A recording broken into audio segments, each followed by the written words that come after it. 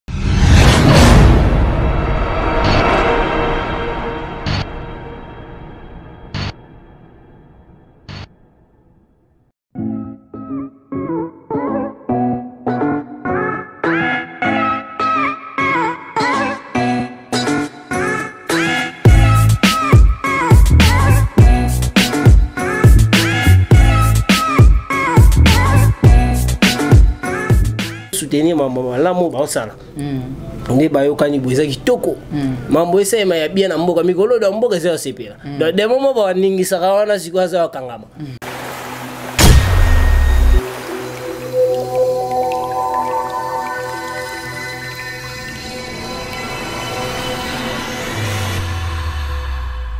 Eh, bopesaka biso toujours envie ya osala bino mosala ya malamu bafuta bino ne mbongo c'est ça non confiance non liboso oso confiance eza nyonso eleki mbongo eloo te mpo mm. neti balide apres eza waze kua mm. akofanda boye mpe abeki o oh!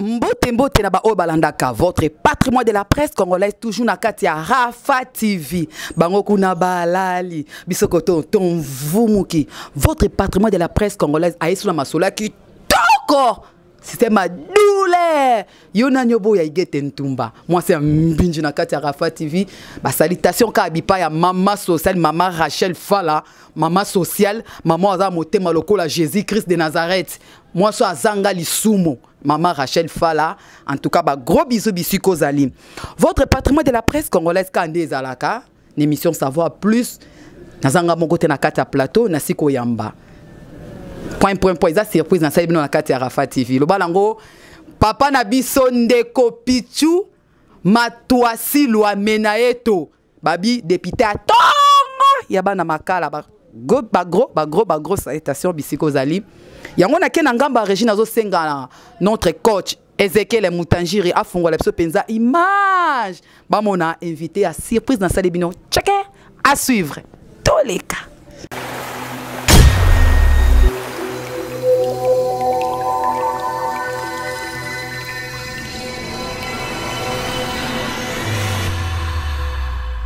merci à vous ezekiel mutanjiri mobali aboya lisumu na kati ya rafa tv ndenge ofungoli biso mpenza image masolo ebandi mbote lumière bobo ah, bambote mingi tala namona okala mikolo ebele mhm. epuis bambote mingi na nzambe ah, bambote mingi na nzambe ye nde apesi fox ezamona na esu na yo mhm. eh, epuis ye nde kaka misala obatela lumière mhm. eh, lumière kapo ye toujours na bino bafani na ngai tu bolinga nga nabaki ke fona ya esusu namonana donc mm. panda bate ebele nayeke bamisu yako deja baza ya kosepela lokola bakoko na biso baze kua mm. eh, babi martika mingi te yinda kua opesi bato nyonso mbote mbe obosani paster eric kazumba na eglise yawe shama ah. wana père spirituel wana père spirituel ye tokosalela kaka publicité te mpo nzambe nde asalela ye publicité na moi tobombaka yango mingi eh, ye da nzambe asalela ye publicité papa eh. eric kazumba mwana no yeyo alokola badokta mm. nzosele beko mm. ya lokola soki oza bato oka bagelo mm. bavegelo mm. balaskoni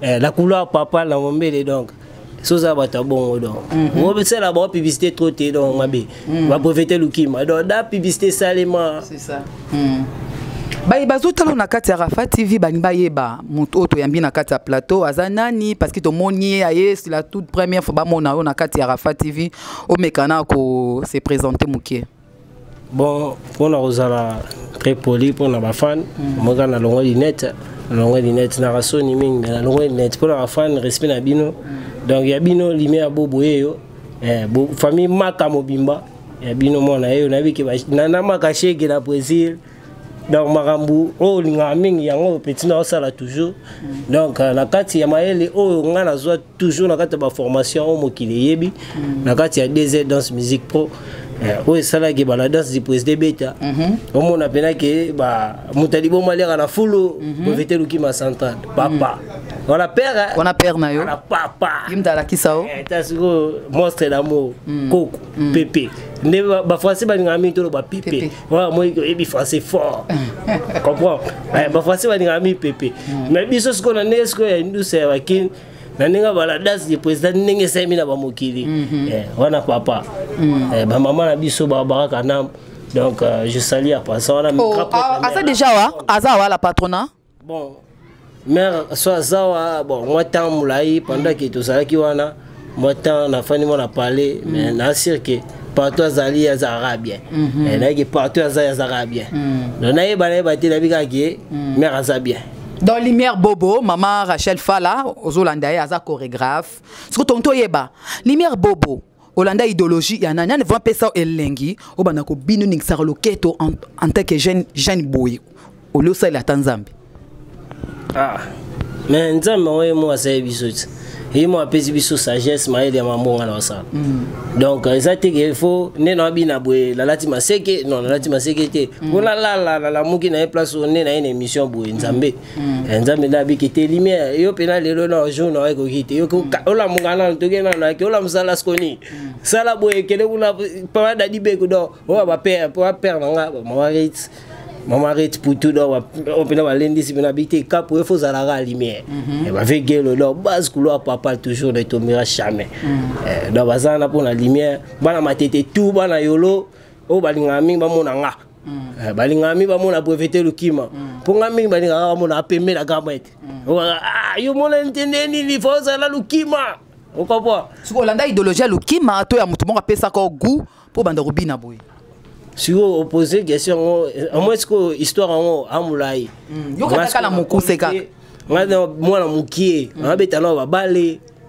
maître de brevité lukima da asala ba œuvre mm. fan ya kitira pays vie ya blaki te mhm. nabi ah abeta ndembo ndembo nabi rien mm.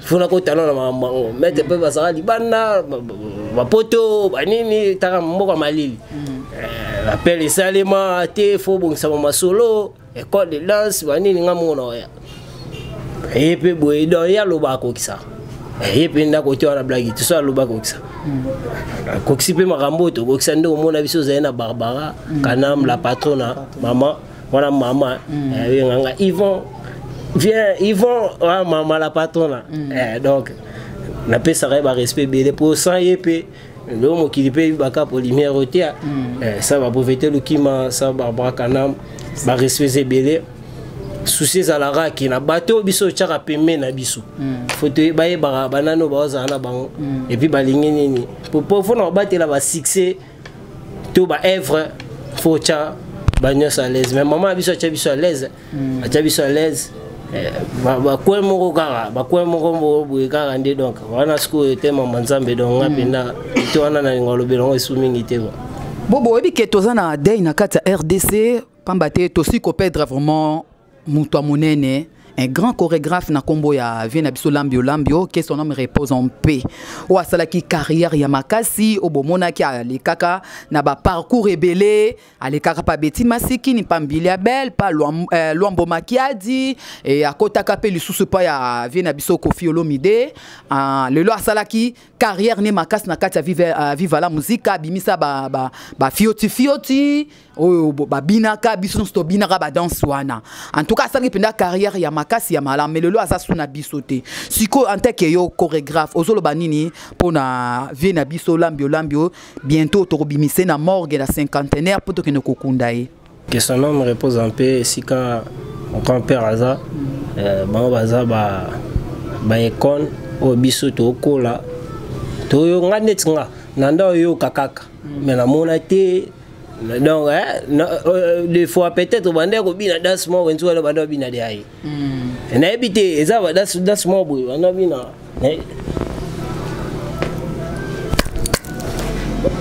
kila mokoso ah voilà badasudasu wana ta sikoyo baevre bon ngai sikoyo nakoli hmm. nazalaki mwana ya moke hmm. nakomopusana napusana naoyoka yango déjà hmm. ah, subitement kake moto yango aza te ntango ozwi na temps ya kokutana na ye te ya kosala na baevre esika moko te au moins nakoyeba yango esu plus lere toyokutana lere toyozala na papa na grand père na biso esusu euh, que son homme repose en paix encore euh, notre père euh, qui oyo asalela biso mpe baœuvre ebele na congo mm. papa wemba mm. atika biso kuru kuru grand prêtre mm, donc atika biso donc mpasi ezala mingi grâce ya ye nde yango omona esu badanse wana donc eza mpasi hmm. kozobungisa baikona boye me okomona mpe ke eh, senga mpenza kote oyo mpenza bakonzi na biso ya mboka bazwa na soin ya makambo ya baevre hmm. eh, nayebi te moto ayembaka wi ayemba azwi miko ayembi mais sikoyo so ayembi atikaka yobina hmm. alingana te bato babaki doye aza ndenge atemini lokola akoni hmm. stati abandi na ye koyemba ti asisi bato basepela nango nayebi te est ce que bofutamaka mpenza bien ndenge bocreaka bapod de danse bozolakisa balider bokepela ba mari mariage na kotia ba bokofuta mena ba orchestre est ce que bafutaka bino mpenza bien bon moni kofuta kofuta eza bandenge ebele mm. kofuta eza bandenge ebele kofuta mosusu ezalaki boyoka na contrat moko bobobi te tokende le moko boye na south na south na south nde tokende wana donc mbongo na bino eza 10 francs mhm. eh, siko moto nyonso ayebi leyaki nde nayoki boye na na different mm. nazwa okomonake dérangement ezala te mm. mais sikoyo ntango yo voyage osali voyage moko boye oriske bavie mm. mais oboyokani na moto yango te oboyokani te oboyokani na balidea te osali nini mokei na bolingo ya groupe obi te ifo nakende tema nalingaka mboka kongo mingi ifo nakende kaka mpona kende kosala honere ya mboka mm. bokei mpe bosali mosala eleki mpe bien mokili esepeli esili bozongi mm.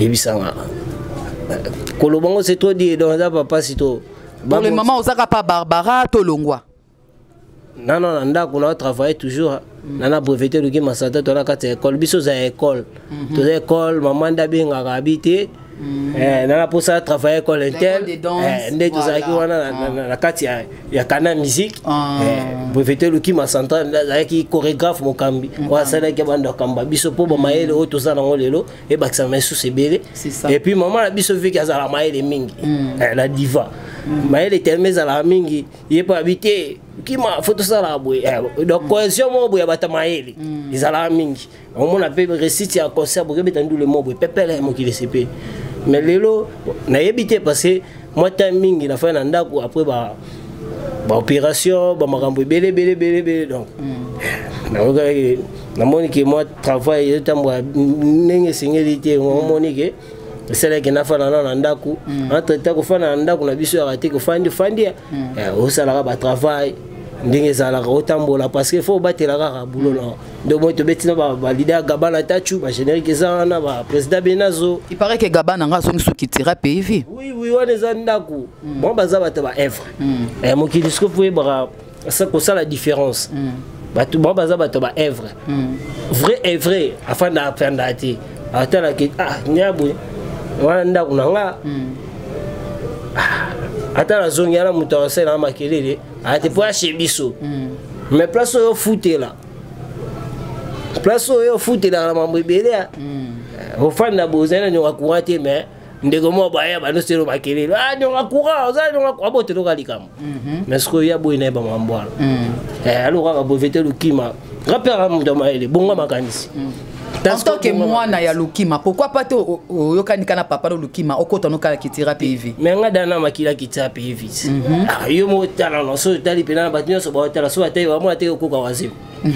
boyebi nga damo na lukima hmm. boye badaki ekoka waze kwa yeyo hmm. kapo lumière siko nungunungu oyo ezobetama aire nyonso oyo bagolois balobi ke concert ya nani waze kwa ekobeta te na stade de martyr parce que balobi ke ferre gola moto aoclotire ka le 24 juin oyo ya bino le 12 euh, août wana balingi yango te en tant que mwana ya lukima ozoloba nini ndenge bagolois batelemeli kaka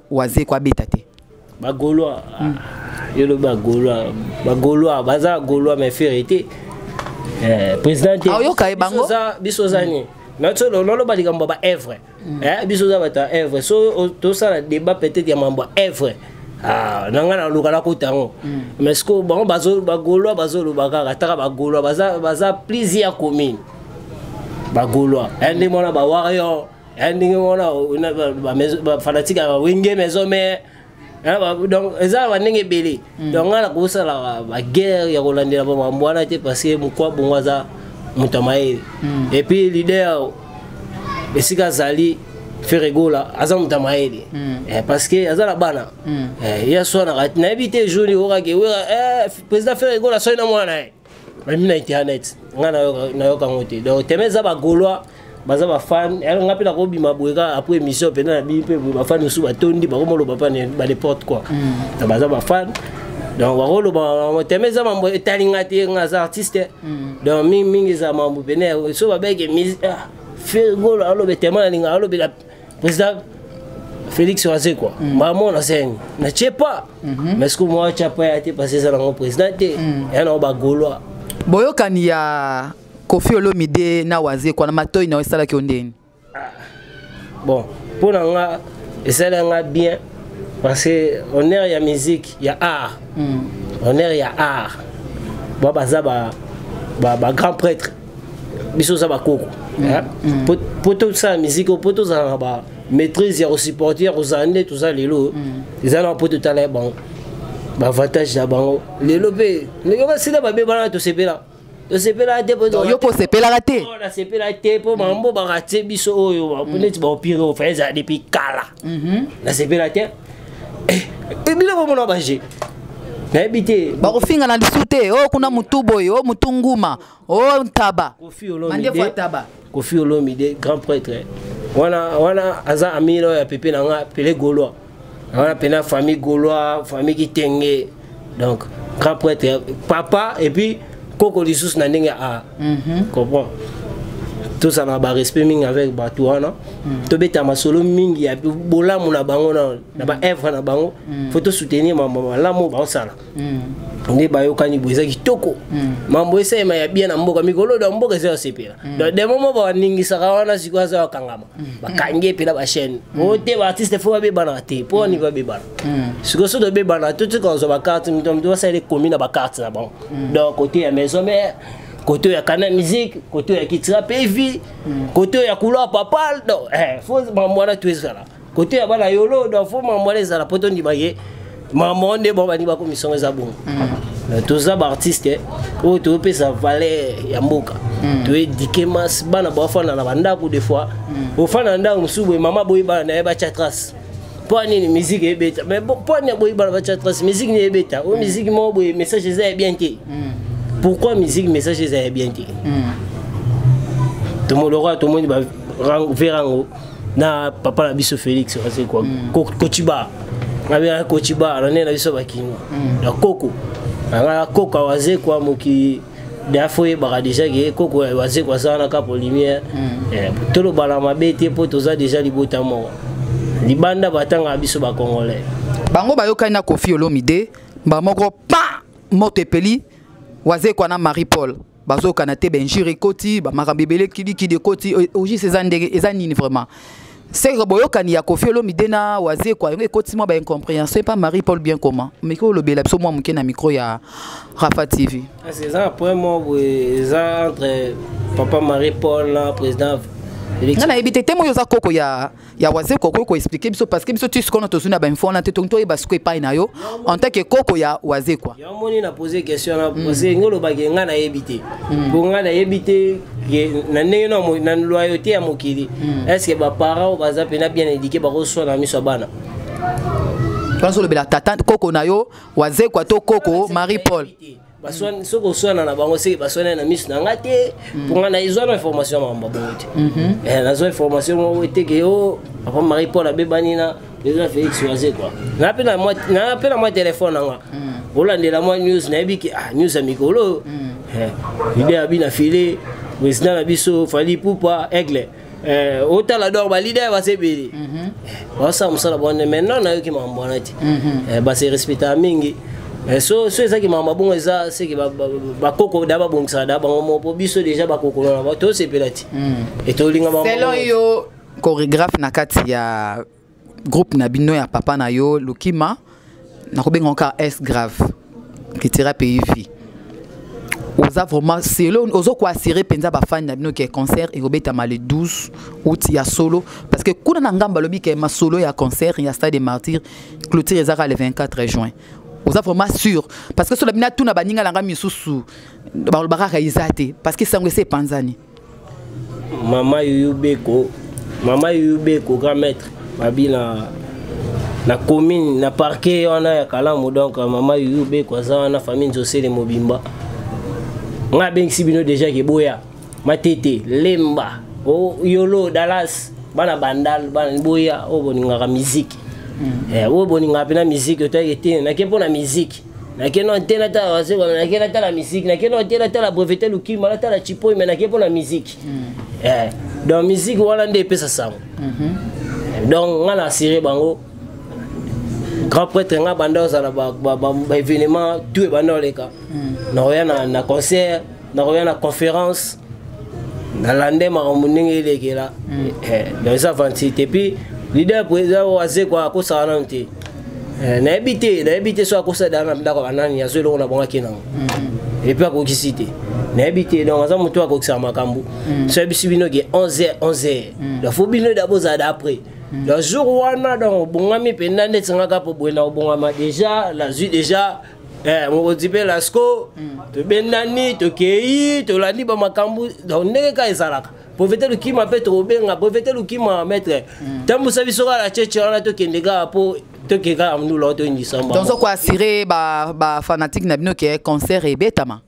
wawa ouais, ouais. nasenga mpenaki bafanatike baye ebele ya yolo dala surtout yolo mo quartier mm. eh, nga siko bazwa nga siko basala nga mélange ya baquartier mm -hmm. bamatete donc soki otika matete babenga oyo mwa matete kapa mwa matete kotika na ba mombele bomona mona matete okenda bangaliema mm. donc ba mombele donc tout mm. toza wana mm. biso oza bato topanza nzela siko président ye moko na bachorégraphe nyonso baza na kati ya capitale ya kinshasa mm.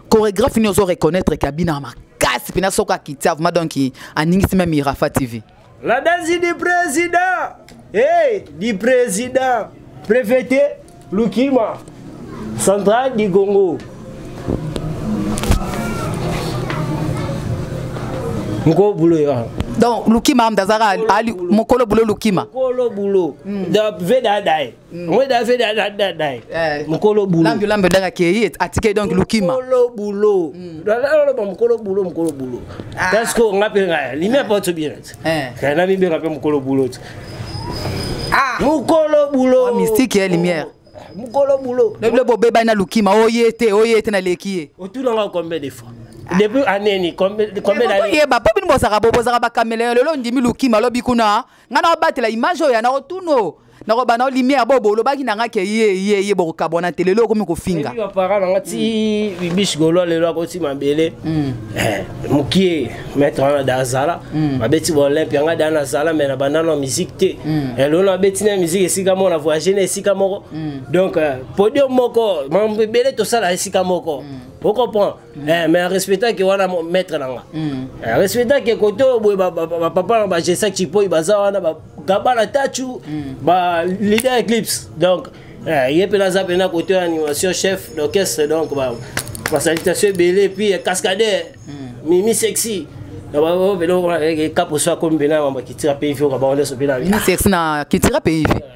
Oui, oui. Ela kapo limie. Eh, kapo limie. Kapo siko linga bongote. Amo siko ba wa yepe, amo siko na ba pepele. Hmm. Biso za bato ya esengo. Biso za bato to linga bato mingi. biso za bato tolinga évolution ya musique congolais mhm. eh, sikoyo tolinga mpe ke balider oyo basalana na biso misala hmm. eh, bopesaka biso toujours envie osala bino mosala ya malamu bafuta bino ne mbongo c'est ça non confiance non liboso oso confiance eza nyonso eleki mbongo elo te mpo mm. neti babalide apres eza wazekwa mm. akofanda boye mpe abeki o oh, mososo yaka no kekula zo 20 po atikula mpe sala misie eza possible okomprend mm. eh, mpo eza elo te balide eza elo te na ndenge nga nayebeli bamakambo asala ata moto asala mpela production ya olympia ye moko eh, blagi te mpo place mindele bazango banyonso alali asala priere mwa bi eh, nzambe esalaka akelaki na mona mindele donc prière na ezalaka mona mindele hmm.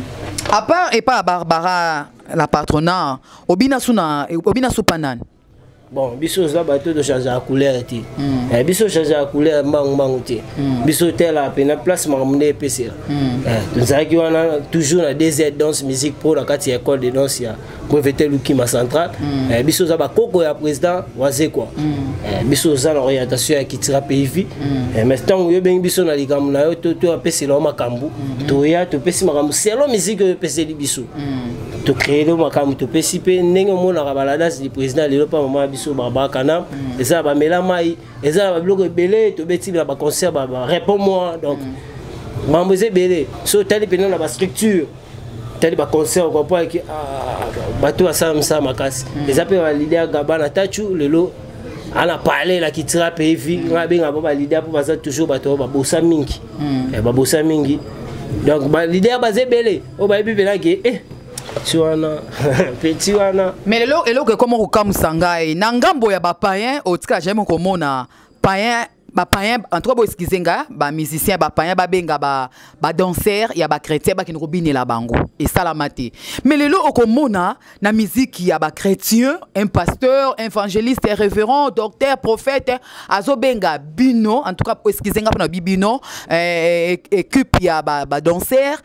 oyo babinelaka bamiziki ya, ya, ya libanda baye kosala club na miziki oyo ezobetama na nkombo ya jésus christ na kati epuis bapas de bon, de, pardon ba pas de danse ya nde babinaka na mokili siko tongi toyeba eloko nini ezosala ke bino bato ya libanda bokomi kosala association na bapaster kobina na bamiziki na bango eza nini bafutaka bino mbongo to eza kaka toseplisaka yawe bon nga mpena koti wana mpo na korepondre na mi eza na nini nga nano nasala koti wana te mm. eh, jour nazwa mokolo ya kosala bapas de danse oyo mm. baya bapresente nga te eh, papa mike kalambai Euh, moïse pourquoi poni ka mike kalamba ye eh, nazoloba parce que bango baza baartiste oyo kote mm. euh, mosusu na mokili babenga yango ni babi te bango bato ya nzambe kote na biso bato ya satan mm. donc nde mokili interpreta mamu nango mm. euh, mais moto oyebi message na mambo osala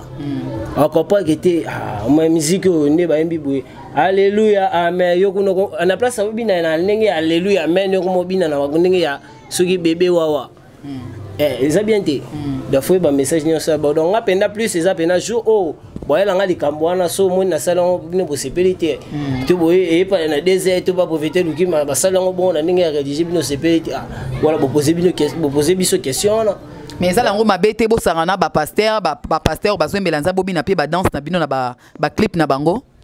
ezo dépendre na ba message hmm.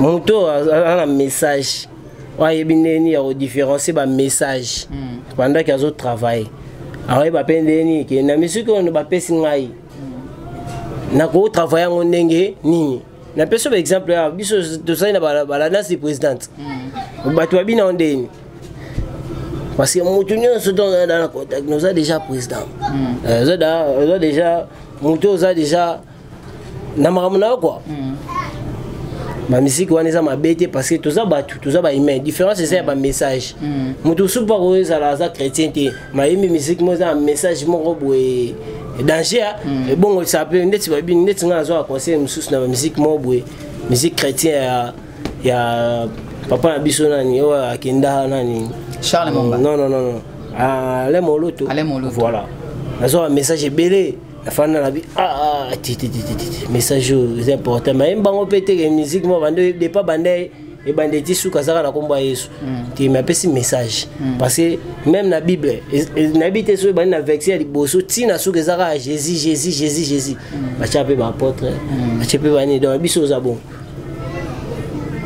eh, biso oza bon mm. bo babandi place baolinga biso toyasukisa tosukisa mais tellement ke ngai nasali no bamakambo wana te mm. eh, donc oyo bango baosala wana oyo ekoka te wana obokemakeke ekoka te donc wana ngai nayebi te voilà en tout cas vraiment merci lumière bobo tokomi mpenza na suka émission na biso ngonga mpenza ezokima makasi nangi loba kaka so abi mot de la fin okufi toza envie conseil nozopesa na baye bazoloba ke ekobetama te bakobeta eh, ekobetama te mpe conseil nozopesa na bandeko ni mosusu bachoregraphe oyo baza libanda oyo bazosala mosala na bamakelele mwa conseil mpe mwa liloba moko ya bien mpo na bango na numero ya contact na yo na bisika bozo repete Lasconi Mosempia eh, akomi likambo sikoyo ya verite ah.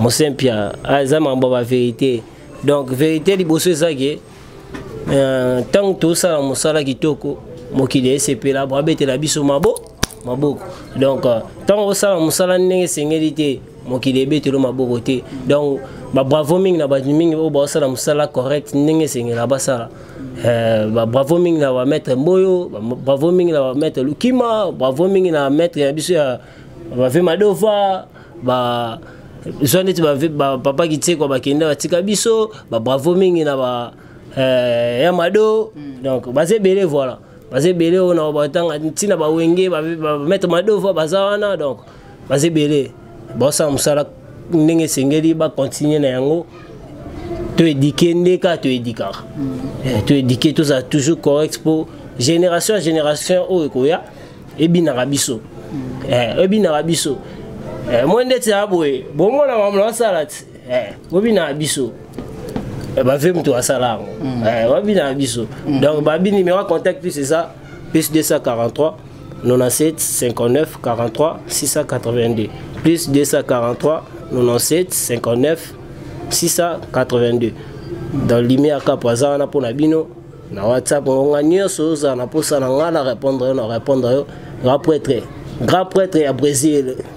nana maka shege babi fami maka mobimba fami bobo toza wana toujours tobunda mpona makambo yango ezalaka ndenge bolingaka eh, puis famille kitenge mes condoléances à toute la famille kitenge on est ensemble mwana bino yeyo tozobunda kaka mm. couloir papa toujours mm.